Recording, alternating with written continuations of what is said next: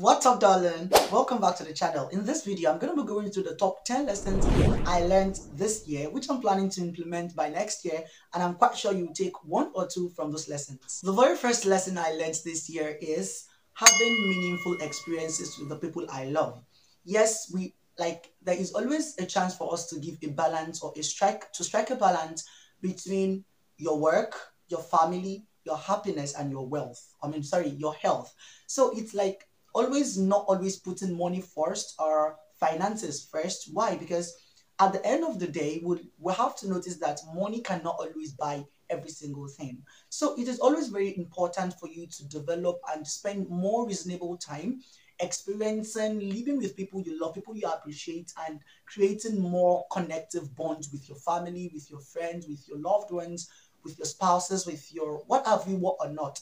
Like even if it's your customers or your client, building or nurturing a relationship with those people is much more lovelier than just basing every single thing on the circumference or basing every single thing on the idea of if it's not making money, it's not making sense, right? Like I see a lot of people trying to just oppose and jeopardize love, money, happiness, and joy. Why? Because we believe that the present world we are living in, if there is no money, the thing is not really making sense, right? So the main psychology behind this lesson, and actually this lesson I learned it from a YouTuber I listened to. I listened to his podcast. His name is Ali Abdaal. He's a very interesting person, and I really love his content quite a lot.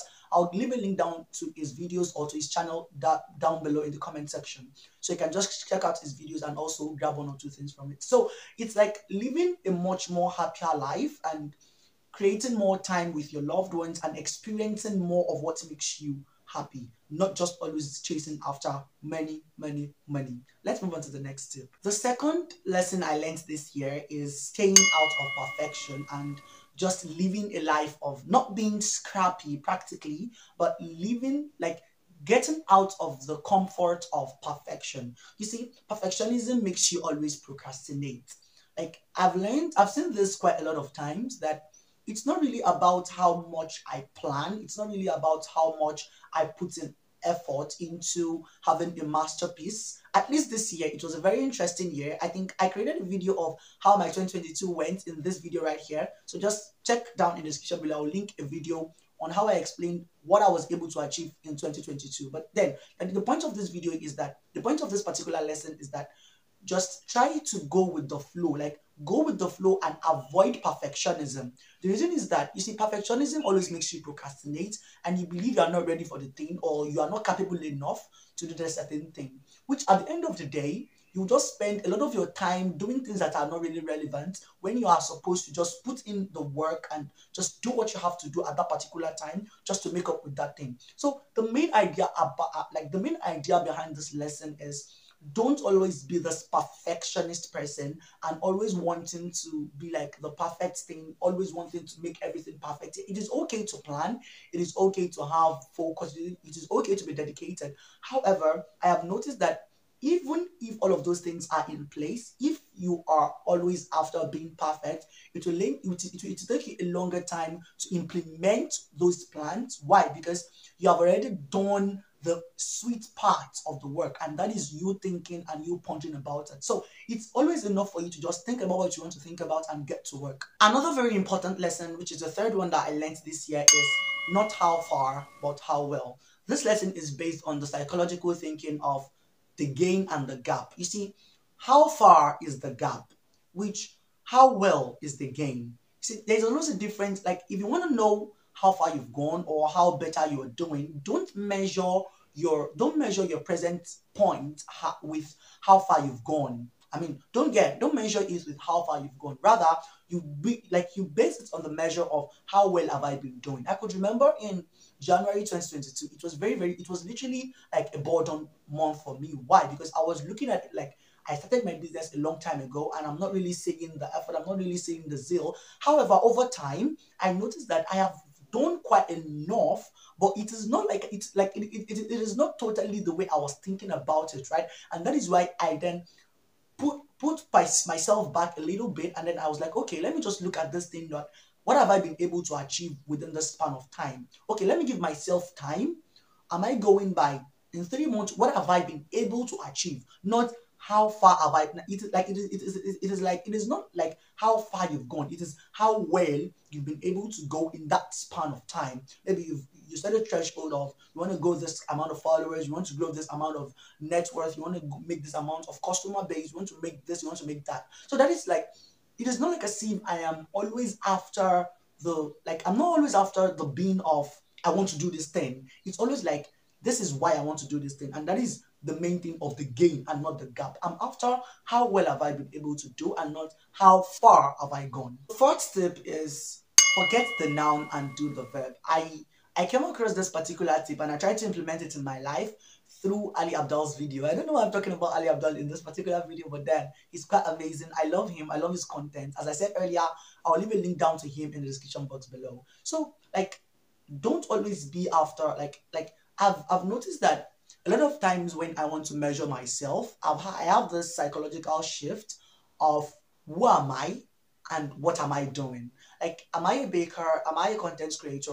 Or am I a law student? Or like, who am I versus what am I doing? So don't always like, it, it, it, it, it's like, don't be attached to who you are. Rather, it is what you are doing. So what am I doing? I read books, I create video content, I I bake cakes. I'm not, it's, it's not like a sieve, okay, I am a doctor, I'm a lawyer, I'm a content creator. No, those are attributive names, those are nouns. So, like, I try to detach myself from what do I want to be attributed to. Like, do I want to be called a lawyer? Do I want to be called a content creator? No, um, I create content, I bake cakes, I do this, I do that. Those are what I do. So I prefer to be to be attributed to what I do than who I am. And those are two different things that needs to be like it needs to be separated, right? You need to be able to strike a distinct differences between who you are and what you're doing. So it is always better. Like I believe that, and I believe that I would I, I, I would really like to give it more of my preferences in 2023 that I want to be much more attributed to what I do less than who I am because what who I am is like a little bit chunk of what I do, right? So, like, what really defines me is what I'm doing, not who I am. Sixth, is it the sixth or the fifth tip? It's about the fact that everyone, I believe everyone has um, a career risk of to an extent. You see, over the year, this particular year, I noticed that I have this thing in me that I'll be like, what if, what if nobody watches my video again? What if no one is interested in my content? What if no one calls me up for cake orders? What if like what if I'm not relevant? What if this thing happens? What if this thing happens? What if like everything just comes into my brain and I try to just try look for an answer to it. And then the answer is then I, I, I spoke to one or two people, like I just discussed with one or two people, those people I look up to, and then I, I noticed that a lot of them were just like the answer that was practically dominating was everybody has that kind of thought. Everybody has a thought of what am I doing? What if people don't find me relevant? What if people don't do this? What if people don't do that? But then the way I've been able to now come over this is just continue doing what you're doing. Continue being your own self. Continue doing what you know how to do. Continue like like those are the answers I give myself, right? And just do what you know how to do and continue doing those things you are doing, right? I don't, I don't know how to explain this a little bit deeper, but then I think that is just the main answer, right? I just want to do what I'm doing. I want to implement, like, I want to do me and reach my potential audience that will love me regardless of the fact that of of, of whatever happens at the end of the day, right? I, I I don't want to be this person that like the career risk thing is very very tricky and it, it it's always kind of interesting that even no matter the point you find yourself in your business or whatever, you still have this shift in yourself and be like, what if this thing happens? What if this thing happens? What if this thing goes this way? So it's it, it's like based on the theory that don't be overshadowed by those thoughts, right? It will definitely come. Everybody has a career risk thought. And that is how I'm able to come over it of just doing yourself, being yourself, and doing your thing. Another tip or another lesson I learned this year is to avoid procrastination, right? You see, procrastination is very, very tricky. And even even though I still tell people not to procrastinate, I still find myself sometimes procrastinating. And and how does it happen? You see, Ali Abdaal said in one of his videos that procrastination is just as a result of you setting your bar or your standards very, very high. Because you see, once you are placing your standards in a very high point, it, it feels as if if you are not having the energy enough to meet up with that point, you are not good enough, right? So if you want to avoid procrastination or postponement or shift of mind or shift of thought or plan changes, it is just for you to just lower your bar and you're gonna follow through. Like I noticed that a lot of times when I want to do something, maybe I want to record a video or I want to do this or I want to create a content or anything that comes around my way, it just feels like as if I'm not really getting myself, right? Like it feels at a point, it feels like it's not really necessary for me to do that thing. Meanwhile, assuming I had to lower my bar, maybe I'm thinking about my background, I'm thinking about my audio, I'm thinking about my camera, I'm thinking about my writing, I'm thinking about the atmosphere, I'm thinking about the weather and all of those stuffs, and I want the video to be very, very quite perfect. I noticed that I end up procrastinating those things, right? And it's just because my bars or my standards are set high. So it's very, very easy for you to avoid procrastination. And that is something I've really I've learned this year, and that is just for me to uh, lower the bar. Once you lower the bar of what you're doing and just be very, very natural with yourself and go with the flow. I think I said I, I talked a little bit about this particular tip in tip two or lesson two in this particular video, yeah. So it's just like as if you lowering the bar and going with your vibe and not so much getting too bothered about how perfect you want it to be. Because the more you are chasing perfection, the more you will continue to procrastinate. There is no bad deal in you wanting to level up yourself and making every single video of the last time better than today. That is okay, right? But then there's always a limit to every single thing. And the limit is where you need to place your standards lower in order to avoid procrastination. Third tip I learned, or another lesson I learned this year is get going and be good. Like get going and you get good. You see, a lot of times I think it was about January where I was not really getting this vibe for myself. I don't really know what the purpose of what I was doing online. I was like, am I a content creator? Am I a baker? Am I a recipe developer? Or am I like a lot of things were coming to my mind. I didn't really know what I needed to do, right? And it was just like I see I was not ready for anything. And deep down, I know what I wanted to do, but I just believe I was not qualified enough yet to do those things. So, or or I don't have the requirements yet to do those things, or I, I felt like if I have to put myself out there, who are those that will get to listen to me? They will be like, what happened to my background? What is this? What is that? Like a lot of thoughts were coming into my mind, which were really giving me this backstrap of a thing. So the main lesson behind this is just get get going. Just start whatever you want to start. And and, and then I kickstarted the whole thing. I think that was March. That was March 2022. It was very, very interesting. It was a very, very energetic time for me. And I really thank God that that time was very, very lovely since I started the thing, that I started going more. The more I went, the better I became, right? So it's, it's like as if I posted one video today, one video content that I made sure the, the second was better than the last, and like that, like that, like that. I kept on going, going, going, going, going. As you never started, it should have been very, very difficult for me. So the challenge I'm giving you right now is I want you to also challenge yourself that you want to do this right now, this time. I don't know the time you're watching this video right now, but then I believe you can set a challenge for yourself and know what you want to do, how you want to go about it. Just get going. You'll get better. This particular tip or this particular lesson is also gotten from Ali Abdaal's, one of Ali Abdaal's video.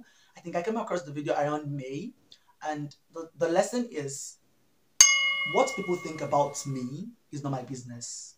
Yes, what people think about you is not your business. That is their own business. That is their own problem. What people, your own problem is what you want to do for yourself. How do you want to relate with people at your own vibe? How do you want to be natural with them? That is your own problem. You don't have any problem on thinking about people and telling them, or you want to, okay, this person said this thing about you and you want to try to reconcile, or this person said you did this without even knowing the reason, or all of this stuff. So, like, what people are thinking about you is not your problem. It is their problem and not yours. Right? I really, I, I really resonate with this a lot because I'm very, very subconscious minded person. Like I, I really take things to heart a lot and I try to understand every single person from their own view, right? I want to always like far back in the past, I want to always be in the best shoes of every person. But then now, like I find myself that I'm giving myself a lot of stress trying to fit in every single person and who cares about that since it's not even my since it's not even my problem. So the main thing is that my task is to do better, to do good, to be Like to be in a relationship with people and just be myself. I don't need, I don't really need to always judge myself based on what they want me to do, right? Like I mean, based on what they say or or a perspective or how they perceive me to be. The most important thing is for me to just be myself and do what I want to do and focus more on how I want to relate with them and not how they want me to relate with them, right? That is just it. Practically, the ninth tip is in relation to the eighth tip, and that is that be yourself and not what they and not who they want you to be. You see, this is very, very critical, and if you have to look deep into it, a lot of people on social media, online, on the internet are leaning towards social pressure, or let me say, psycho- social psychological shift that you are unable to decide for your own self what you want. You are buying that shoe because you see someone wearing it. You are buying that bag because you see someone using it. You are sewing that cloth because you see someone sewing something similar. You're using that phone, or you have you just want to change your phone. Why? Because you believe it is necessary for you to change the phone because the one you're using does not meet up with the one your friends are using, and all of those stuff. So like it's it, it really happened to me too, right? Like I don't want to I I, I want to be myself. I don't want to be who people want me to be. I can I can decide to be a baker. I want to bake cakes and sell. And I might decide no, I want to just make cake content. I'm not really selling. I have another thing that wants to bring that want to fetch me my income and my revenue, and that is what I want to be. Like, what kind of content am I creating? What suits me better? Like happiness just down down to all of those things, right? It's not really about how you want people to perceive you. It's like it's not really about how people are perceiving you, it's how you want them to feel you. Not like you, you cannot fit in with every single person's schedule and you cannot always be the part like there's this saying that you cannot be the hero in everybody's story. Yeah. If you're always trying to be a hero in everybody's story, you're gonna burn out. That is very, very sure. So the main psychology behind this whole thing is just do yourself, be who you want to be. Like in the coming year, I want to just be that person. Like I want to like I don't want to focus more. I don't want to give a focus or a damn anything to what this person what this person is saying, what you want me to do to you, how you want me to relate with you. How am I relating with you? If it suits me, perfect. If it doesn't, that is your problem. Because I said it earlier that what people are thinking about you is their own problem and not your own problem. Your own problem is just to focus on what you do, do your shit the, the, the better way, and that is all. The 10th tip I learned this year is persistency, consistency, dedication, and focus. You see, these things are very, very important. I said persistency, consistency, dedication, and focus. You see, a lot of times, a lot of people are saying they are not really like. I noticed that once you put a lot of time into something, you definitely see the results. That is just it. You see, you are not yet doing it enough. I could remember when I started posting my content on Instagram, it felt as if I was not getting the momentum, I was not getting the feel I was looking for, and it was not really giving me what I needed, right? And it was it was a little bit tricky, it was a little bit fearsome that it's not really giving me back. But then I was just like, let me just keep doing this thing, let me just keep in posting every single day. And all of a sudden it started to change. It started to change little by little by little by little. I started to see the changes. And it was very, very drastic, it was very, very important. It was, it was mind blowing. Like going from just imagine going from 3,207 to 15,600 as at the time of this recording of this video. I'm not a motivational speaker. I'm not a business strategist. I'm not whatever comes your way, right? I'm just a small business owner to you that is just trying to reflect how this year went. And here are the top lessons. Like, like put in your efforts, put in your consistency, be dedicated, be focused, and set your plans. Yeah. I'm I was trying to remember the last one is setting your plans. Yeah, I think I have lots of plans for next year. I want to grow my Instagram more, my TikTok, my YouTube, my revenue, my income. Yeah, I want to grow more income, like my income streams. How, how am I getting revenue to the business, to myself? I want to travel places. I want to like I want to have a tour, and I want to also spend nice, more nice time with my friends with my family, with my loved ones, with what have we or whatnot. Also, oh, yes, if you made it right to the end of this video, to this particular point, I really appreciate you for that.